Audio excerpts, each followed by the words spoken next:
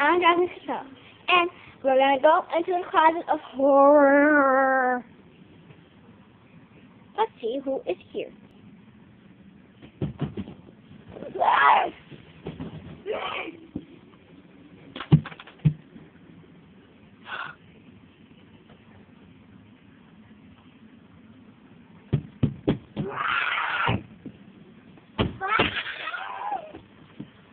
Oh my goodness.